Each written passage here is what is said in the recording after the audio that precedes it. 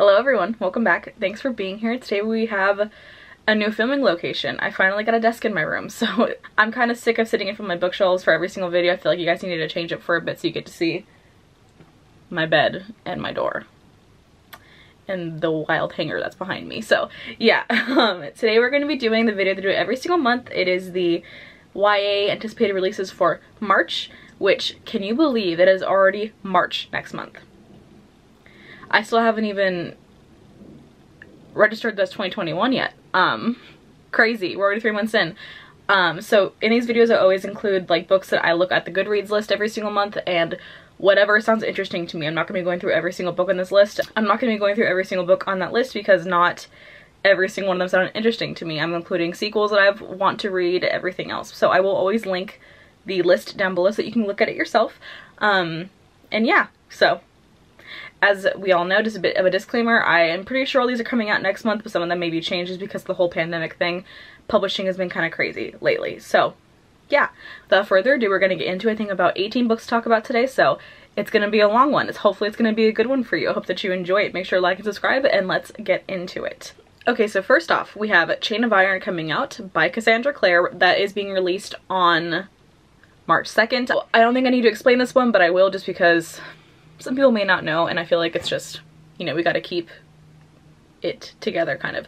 So this is, it's from Cassie Clare's very vast world of the Shadowhunters realm and it's following the kids from the Infernal, Infernal Devices series. So it's a continuation series of their kids um, and all the wacky adventures that they get put upon and I've only read City of Bones by her. um, I'm very behind in that series and that entire world. I've only read one book. So I'm so excited for it nonetheless because I feel like I'm still going to want to read it. I'm still going to read it eventually. It's just going to take me quite a long time to get to that point, which is fine. Okay, next we have Rule of Wolves by Leigh Bardugo. This is being published on March 30th, and this is a second part of the Nikolai duology, and Nikolai is a character in her entire Grishaverse series. Um, I've only read Shadow and Bone by her, so I haven't really been introduced to Nikolai yet. I hear that he's like a fan favorite though, so I'm excited to see him um, eventually when I get into the second part of the series. And it's basically about him trying to find a way to restore um, or find a way to stop the threat towards the Grisha's army. And he, as each day goes by, he sends senses dark magic inside of him and he tries to venture through the darkest parts of Ravka to find out if he can stop what's going on inside of him in terms of the magic inside of him. So I am reading these books in order. So I am reading the Shadow and Bone trilogy and I'm going to go to the Six of Crows duology and then I'm finally going to make it to the Nikolai duology. So might take me a long time. Once again, that's fine. I actually really like Shadow and Bone, which a lot of people didn't like it. I loved it. I thought it was really good. Um, so I'm excited to see where this entire world goes for me because I heard that it does get a lot better when Six of Crows happens, but since I already loved Shadow and Bone Anyway, I'm like, well, it can't get better than this, right? Apparently it can. Hopefully it will. So yeah, I'm excited for it. Next we have Bone Criers, Dawn by Kathryn Purdie. This is being published on March 30th, and this is the sequel to Bone Criers Moon, which was a Owlcrate and a Fairy Loot book, so it did get a lot of hype when it came out last year, and this, the first book is about a group of people called Bone Criers who, it's a group of women who have to, in order to gain powers, sacrifice their first love and kill them and harvest their souls. What a feminist mood. Um, and our main character's name is Ailesse, and she has been prepared to Bone Crier since birth, and so she must kill the boy that she's destined to love, but she has not found him yet. Our other main character's name is Bastian, and he ends up taking one of the Bone Criers in captivity, and Ailesse and Bastian's fates become entwined, and one of her other friends name, I think her name is Sabine, has to find a way to rescue Ailesse and make sure that nothing happens between them. So, I haven't read the first book yet, obviously. I feel like a lot of people didn't like it, um, so I'm kind of nervous, but I'm still going to give it the benefit of the doubt and read it because it still sounds interesting to me. But a lot of people that I know and trust didn't like it, so that is very upsetting. But either way, this is the last book in the duology, so after this book, it's done with. Um, it's a very short series, so I'm going to read it. It sounds interesting, but yeah, that's coming out next month. Next we have, I'm looking at my phone by the way, that's why I keep looking to the side.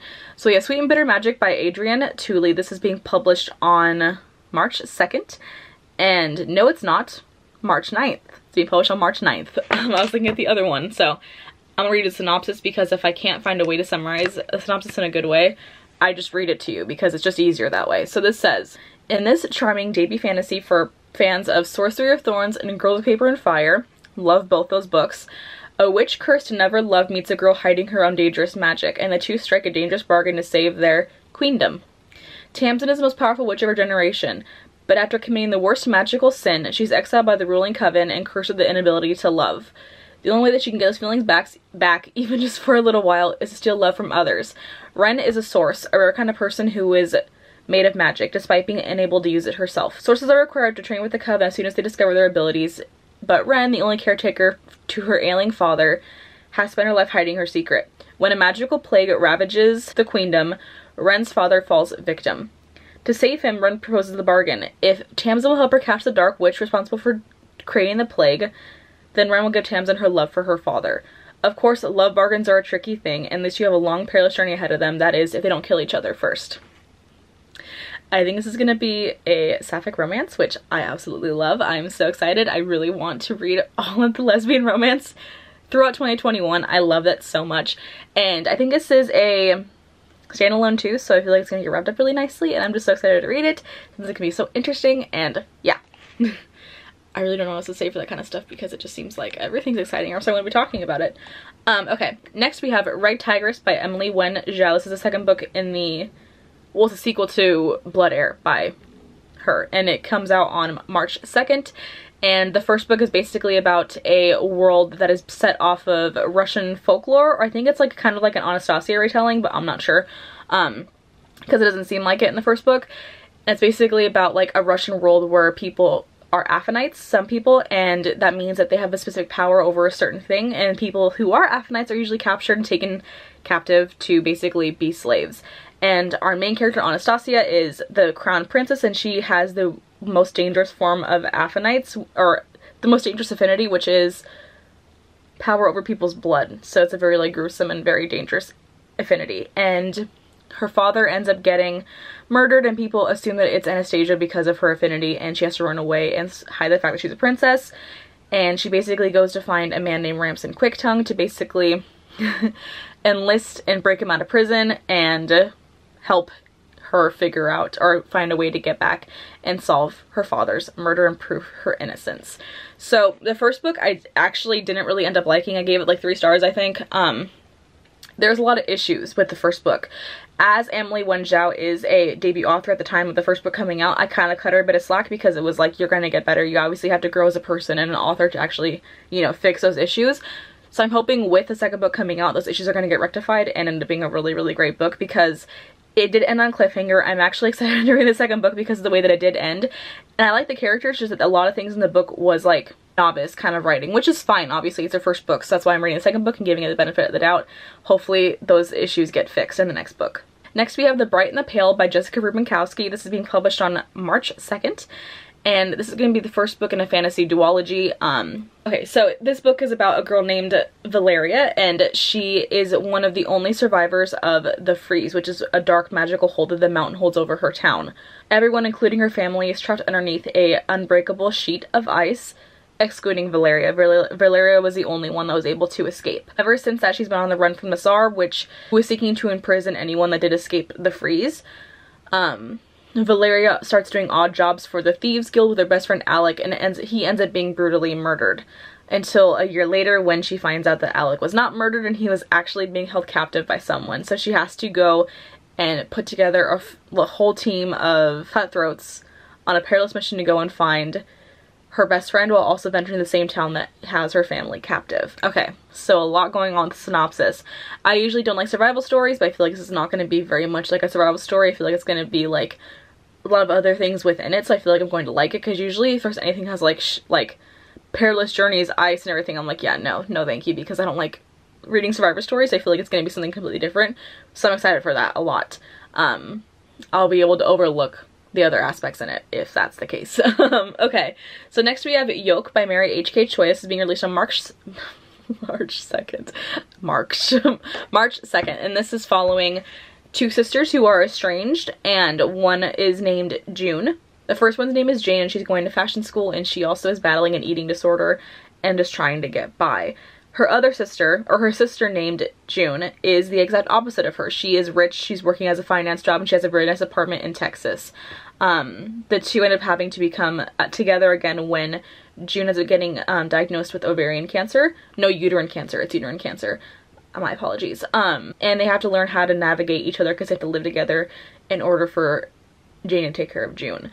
Um, and how everything can kind of like go one way or the other with her. So I read Emergency Contact late last year. Um, and I liked it a lot. I gave it four stars, which for a YA contemporary book, I actually, that's a really good rating for me because I don't like YA contemporary anymore.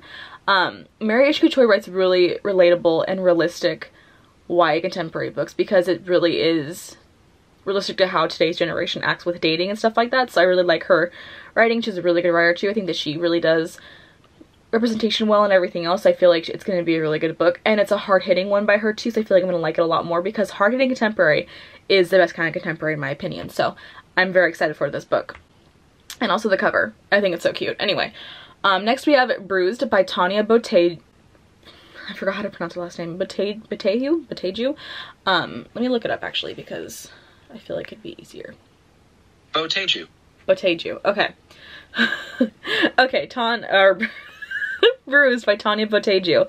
This is being released on March 23rd, and this is another hard-hitting YA contemporary book about a girl named, the contemporary about a girl named Daya, and after her parents died in a car accident, she feels like self-harming will help her feel pain in her physicality than within, versus being in her heart. Um, so she begins to bruise herself. She's confronted with the chance to be a part of roller derby and she's hooked on that idea.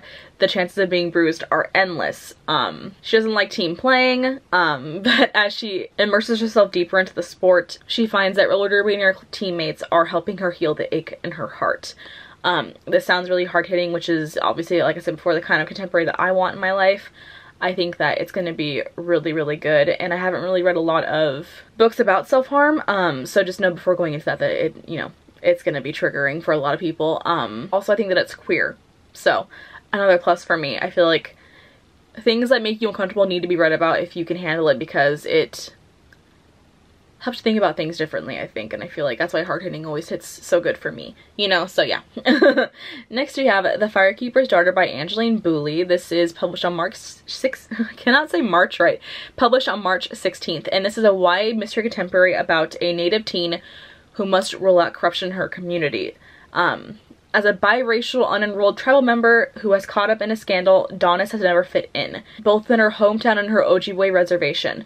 Daunis dreams of being of going to medical school, but as her mother becomes ill, she has to put that dream on hold and take care of her. Um, her only bright light is Jamie, the charming new recruit on her brother's hockey team. But she gets the sense that Jamie might be hiding something. Everything comes to light when Daunis witnesses a murder in front of her and she becomes a part of the police investigation. She offers to go undercover for the police, but as she does, she also finds some personal things to go undercover for too. Um, the deaths keep piling up and striking home, and now Daunis must learn how far she'll go to protect her own community. I have never read a YA thriller book. I have one book that is YA thriller, have not read it yet, so I am very excited to read that because I feel like reading YA and thrillers are very good mixed together. But the main reason that I really want to read this book is because the fact that it's from a native and indigenous owned voices author. Um, something I want to do more this year is read more indigenous slash native owned voices authors because let's face it, we're all living on stolen land, folks. This is what we, the bare minimum that we can do for them. So, especially if you live in the US and Canada. So yeah, I'm reading it and I'm going to make it an effort to read more of those books this year. And next we have Phoenix Flame by Sara Holland. This is being released on March 2nd. This is the sequel to Havenfall, which came out last year. It's a YA fantasy book about a girl named Maddie and she lives during summers at an inn where it's like a magical um, safe haven for the different realms of magic around them. I think there's four realms in total. And it lives in the Colorado Mount... Colorado Mountain. Um, Maddie goes every summer to escape from her reality, which is the reality where her mother is on death row for being accused of murdering her own brother. So she has her own reasons to be there during the summers too, and she likes being there during the summer times. Um, but this summer, a dead body is found at the inn, and Maddie must find who did it and she seeks the help of a new employee named Taya but Taya seems like she knows more than she's letting on. Yeah, I'm not going to go further into it because it's kind of going to give away a lot but it sounds really interesting. I feel like the main reason why I wanted to read this book is because of the cover. I think that it's gorgeous and Phoenix Flame is just as gorgeous as the beginning cover too so it's amazing. Um, I've never read anything like this before so it's going to be exciting and I think that I own one of the book by Sara Holland. I'm not sure which one it is though but I want to read more from her because she is like a classic YA author, I think. So yeah. Um, next we have Fragile Remedy by Maria Ingrande Amora. No, Maria Ingrande Mora, which is being published on March 9th. And I'm going to read the synopsis because it's a very good synopsis on Goodreads. 16-year-old Nate is a gem, which means genetically modified medi tissue created by the scientists of Gathos City as a cure for the elite from the fatal lung rot ravaging the population. As a child, he was smuggled out of the laboratory where he was held captive and into the Withers, a quarantined, lawless region. Nate manages to survive by using his engineering skills to become a tinker, fixing broken tech in exchange for food and a safe place to sleep. Um, when he meets Reed, a kind and fiercely protective boy that makes his heart race, and his misfit gang of scavengers. Nate finds a family he's always longed for, even if he can't risk telling them what he is. Agathos created a fail-safe in their gems, a flaw that causes their health to rapidly deteriorate unless they get the regular regular dose with medication controlled by the Gathos City. As Nate's health declines, his hard-won freedom is put into jeopardy. Violence erupts across the Withers, his legal supply of medicine is cut off, and a vicious attack on Reed threatens to expose his secret. With time running out, Nate is left with only two options. Work for a shadowy terrorist organization that has means to keep him alive, or stay and die with the boy he loves. That sounds so interesting and so good. I am excited to read another gay romance. I just love them. I think that's going to be so awesome. I really am liking how many gay and sapphic romances are coming out this year because it really needs to be done because I'm so sick of reading about straight romances. So like, I'm just excited about it and it sounds like a really interesting topic. Like, I think it's supposed to come out last year. So it's been my TBR for a long time and I'm excited that's finally coming out and I get to share it with you guys because I just was immediately like enraptured by the synopsis when I first read it. So please read it. I think it's going to be so good. Next we have The Castle School for Troubled Girls by Alicia, by, by Alyssa Sheinmel. This is being published on March 2nd. And it says, our main character's name is Moira and her parents are sending her to an all-girls boarding school because she got into some trouble last year and her parents are punishing her. At the castle school, Moira is expected to pour her heart out to the very strange headmaster. Um, and on her third night at the boarding school, her and her roommate venture out into the night and find that there's another boarding school on the, across from the entire field for all boys. Moira is convinced the headmaster is hiding something and she has to go through that entire like process of figuring out what's going on. Um, honestly, something you know about me, I love um, boarding school novels. Like, it can be the driest synopsis and I'm still gonna want to read it because it has a boarding school in it. I love boarding schools so much and I feel like they add such like an important like or I feel like they add like a very interesting aspect of the story. So like anything with a boarding school, I'm probably gonna end up reading, even if it doesn't like sound interesting in, in any other aspect to me. This sounds interesting, obviously, but like most of the books, like I just read it because it's a boarding school. I don't know. It's a strange thing about me, but it sounds really interesting on top of that too. But yeah, anyway, next we have I Think I Love You by Auriane Desombre. It's been published on March 2nd, and this is a, oh my god, my drink fell. I have water my desk right now. Yikes. Getting that after the video. I'm not even gonna worry about that right now. Um, why does something always happen in every single video where something ends up going wrong in some way? I think that, God, okay. okay, so it says, Emma is a die-hard romantic. She loves a meet-cute Netflix novel, or Netflix movie, her pet Lady Cat Toilette, and dreaming up the gay rom-com of her heart for the film festival competition she and her friends are entering. If only they listened to her ideas. Sophia is pragmatic. She is big into boycotts, namely, one, relationships, two, teen boys and their BO. Reason number, reason is she's lesbian. And three, Emma's nauseating ideas. Forget starry-eyed romance. Sophia knows what that what will win. An artistic film with a message. Cue the drama the movie is doomed before they even start shooting. Until real life plot twist unfolds and Sophia and Emma start seeing each other in a different light. And the rivalry starting to feel like an actual rom-com. Sapphic, Hate to Lovers, want to read immediately. Nothing else needs to be said. I think it's going to be so good. I'm just so excited. It sounds like it's right up my alley. So, yeah. Next we have The Last Secret You'll Ever Keep by Laurie Faria Stolarz. It's a sequel to Jane Anonymous it's coming out on March 16th. And this is about a girl named, the first book's about a girl named Jane and she has the perfect life is what she thinks. She has a very loving parents, a good boyfriend, and good friends around her and she is getting ready to start her senior year in high school. And she never would imagine the town where nothing ever happens ends up changing her life forever. Um, it's been three months since she escaped captivity and returned home. She's known as the kid who was kidnapped and the monster that kept her captive for most of her life. That's basically all I'm going to say because it is like a mystery novel. I think that it's going to be very hard-hitting. I think it's going to be very interesting.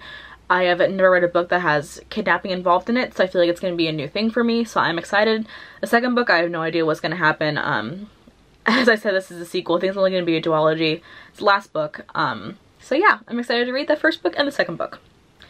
Next we have, I think, my most excited for for the month is called A Trial of Sorcerers by Elise Kova. This is another YA fantasy book. It's being published on March 4th.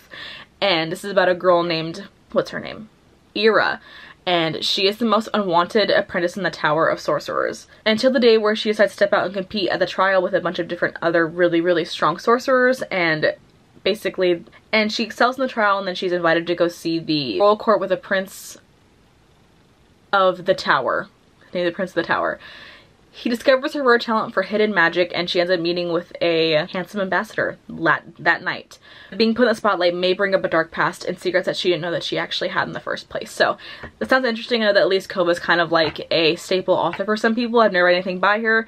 I have like three books on my TBR that are written by her now, so I know that I want to read from her and a lot of books by her. So I'm excited. Also, the, the cover is beautiful and it sounds like it's going to be a classic YA fantasy and I'm so excited to read it. Okay, next we have the Salt in Our Blood by Ava Morgyn. This is published on March 2nd, and look at that cover. It's like a tarot card. I love it, um, which I'll get into. Okay. 10 years ago, Kat's mother, Mary, left her at her grandmother's house with nothing but a deck of tarot cards. Now 17, Kat is determined to make a life as different from Mary's as possible. When Kat's grandmother dies, she is forced to move to New Orleans with her mother. There, she discovers a picture of Mary with a, holding a baby that is not Kat, leading Kat to unravel a dark history and challenge her belief that Mary's mental health is the root to all of their problems. But as Kat explains the reasons for her mother's breakdown, she fears she's experiencing her own. Ever since she arrived in New Orleans, she's haunted by strangely familiar visitors in dreams the, on the streets of the French Quarter who know them more than they, that, who know more than they should. Unsure if she can build a relationship with her mother, Kat realizes she must confront her past, her future, and herself in this book. So it sounds really interesting. Honestly, the only like me want to read this book a lot is because of the setting. I want to go to New Orleans so badly. I love the rich culture there. So I want to read more about that setting in this book. So that's why I really wanted to read this book. Next we have The Place Beyond Her Dreams by Obi Alagwekwe, which is published on March 16th. This is a YA fantasy book. I think it's a standalone about a girl named Obi? No, that's that's the author. I'm so sorry. Her name is Ona and her so it says it's inspired by West African heritage fables and spiritual beliefs. At the sudden death of her grandfather, Ona's pain transports her to, to the mystical Luena, a place of infinite possibilities, free of turf wars and other ills that plague the earthly dimension she lives in. In Luena, where her grandfather awaits her, once Ona learns she's an Aerie, who one is bestowed with a unique intuitive and spiritual gifts passed down from generation to generation. On her 18th birthday, she returns to Luena and is handed a box to deposit her in exchange her exchange for love and happiness, her greatest desires. Burdened by her quest, Ona crosses paths of danger and heartbreak as the two men that love her dearly are viciously pitted against each other. As evil looms, she learns that dreams carry a hefty price and no one is who they seem. Now she must unmask the villain and save the one who she loves, even at the risk of losing everything she holds dear. This sounds so beautiful like a very beautiful story. I love books that have like different realms that you have to travel to and are better than the ones you're in and like have to like you know i just think that it's such a really good like topic to talk about. And I've really never read a book with like West African culture in there or like mythology so I'm excited to read it. And the cover is absolutely gorgeous too. This was really hard to find on Amazon so I feel like she's not getting as much like hype as she needs to. So I feel like everyone should read this book because I think that it's a really good author to support I want to read this book so badly. So please read it. Um, and then lastly we have The Secret Life of Kitty Granger by G.D. Falksen. This is a YA historical fiction book which is being published on March 2nd and this is about a autistic teenager in London in 1967 and so it says 16 year old Kitty Granger has always known that her others considered her peculiar. She hates noise and crowds, tends to fixate on patterns, and often feels acutely aware of her surroundings, even as she struggles to interpret the behavior of people around her.